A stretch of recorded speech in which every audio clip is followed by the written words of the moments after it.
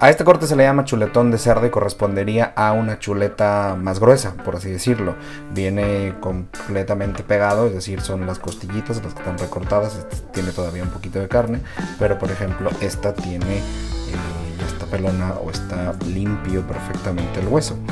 El chuletón de cerdo, bueno, corresponde, tiene un grosor aproximadamente de una pulgada, pulgada y media más o menos, es decir, como unos 2.5, 3 centímetros hasta 4 centímetros de ancho y lo que ustedes van a verificar es la calidad de la carne siempre, es decir, que no tenga olores eh, fuertes, tiene que oler a cerdo evidentemente, pero recuerden que esta es una carne que está considerada como una carne eh, magra, es decir, todo este corte de aquí es, un corte que no tiene grasa o es, tiene muy poca grasa entreverada y el resto, la grasa o el tocino la tiene justo en esta parte de aquí.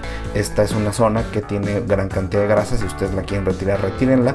Yo aconsejo dejarla para después terminar con un dorado final en un sartén caliente, pero en este caso, bueno, lo que hay que identificar para efectos de calidad es que no tengan manchas de sangre eh, muy, muy profundas, es decir, que los huesos estén completos y que no estén rotos, que eh, por rotos me refiero a que no estén troceados o que no vengan con alguna, algún material que puede parecer extraño.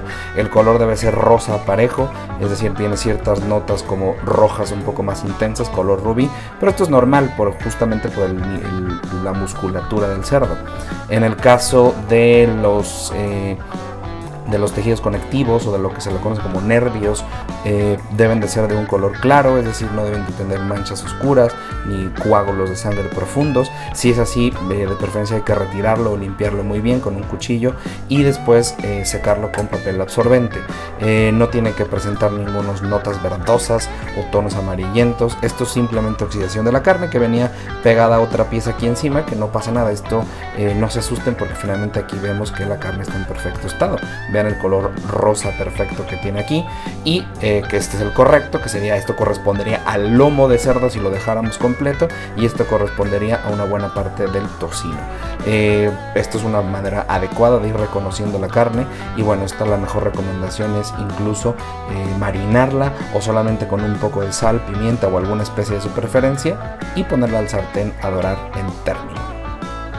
Como les digo, esta carne es ideal para poder cocinar directamente la plancha, pero pueden marinar, como en el caso del al pastor, que ya les compartí la receta.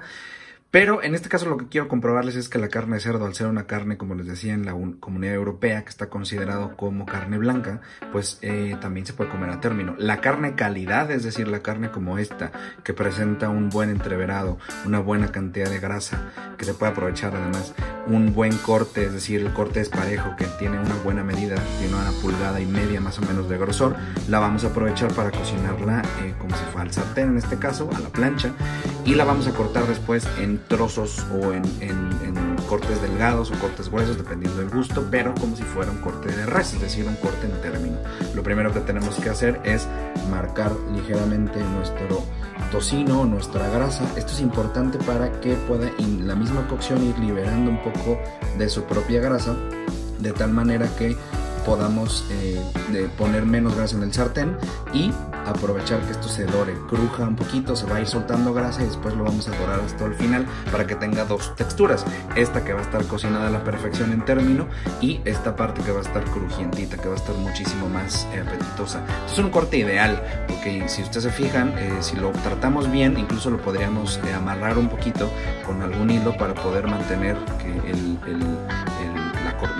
firmeza del corte, mantener, digámoslo así, la forma, una forma atractiva que a la hora de cortar sea mucho más sencillo y además eh, más atractivo. Después de hacer esto, ahora voy a amarrar, pero vamos a colocar sal. Esto es importante porque mucha gente habla o dice o cree que se tiene que sazonar al momento. Esto es una recomendación de los grandes parrilleros del mundo que la sal se coloque justo antes de cocinar, unos momentos antes de cocinar. Eh, muchos hablan de una buena cantidad de sal en el exterior como para poder eh, que después se le sacude antes de, eh, de cocinar para que se absorba la sal suficiente, no se va a volver a poner nada más pimienta, alguna especia o hierba, la verdad es que yo recomiendo que sea así. Y si ustedes quieren agregarle tal vez un poco de pimienta negra o pimienta de pimientas, una mezcla de sazonadores, pues esto es ideal.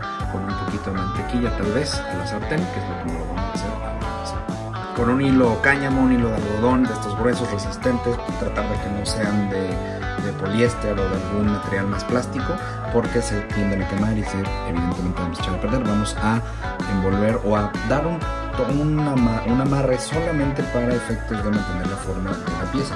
Es decir, no queremos otra cosa más que se tense un poco, quede un poquito más gordito en el centro y evite que se desjugue eh, antes de tiempo. Si ustedes lo dejan así no hay problema, digo, evidentemente ustedes lo que pueden hacer es aprovechar la forma, pero hay que cuidar muy, muy, muy, muy bien este, el, el, tiempo de cocción. Esto es importante porque si no le damos este, este, al menos que esté fijo de esta manera, ¿no? Un poquito redondito, que se apriete un poco para efectos de que a la hora de meterlo a cocción intensa, eh, no se abra o se expanda en el sartén o en la parrilla, sino quede con esta forma y podamos aprovechar para dar un corte. Tenemos ya la carne que reposó un poco con la sal y ya está perfectamente amarrada. Aquí lo que voy a hacer es sacudir el exceso de estos granos que tiene la carne para que no se quemen a la hora de entrar en contacto con la sartén. Es decir, esto es, esto es importante para que no se generen como unos puntos quemados. Esto ya absorbió la sal que necesita y bueno, se puede siempre ajustar al final con un toque de sal de mar o sal de grano eh, ya cuando esté cocinado y en el plato. Pero de, preferencia sacudan estos grumos que ven ustedes aquí para evitar que se quemen en la sartén.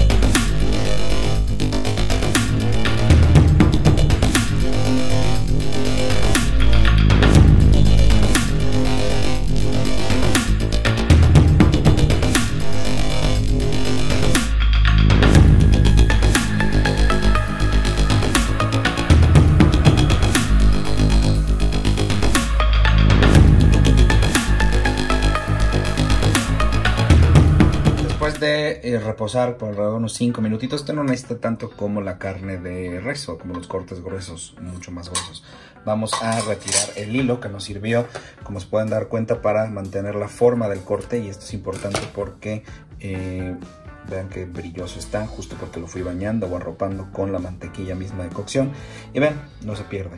Esto nos permite poder tener como mayor firmeza y lo que vamos a ver es cómo quedó nuestro corte. ¿eh? Tiene que estar, acuérdense, a 65 grados centígrados por el interior. Esto que significa que la carne se va a ver, ya la manché un poquito, pero vean, vean esta parte. ¿Eh? Jugo, jugo total. Aquí la carne está en perfecta cocción y está en término. Este término podría decirse que es bien cocido o tres cuartos, dependiendo de dónde estén, pero bueno, todavía tiene muchísimo jugo ahí adentro, no está seco y esta parte del tocino es muy rica. También si quieren, se la pueden retirar al final si es que no quieren comerla, pero bueno, les recomiendo mucho comer pedazos de ambas partes. Aquí lo que tenemos que hacer es de desprender el hueso o para verificar justamente la cocción. Tengan cuidado para que no eh, retiremos demasiada carne. Les recomiendo empezar por aquí, por la parte externa e ir siguiendo de tal manera que desprendan adecuadamente el corte. Esto es, muchos lugares lo, reservan y te lo ponen a un lado para que verifiques en efecto si es que eh, eh, es justamente se cocinó completo o no. Pero vean nada más esto es un corte justamente rosado, tal como lo queríamos. Y bueno, lo que vamos a hacer es ir desprendiendo como lonchas gruesas para efectos de servir al final.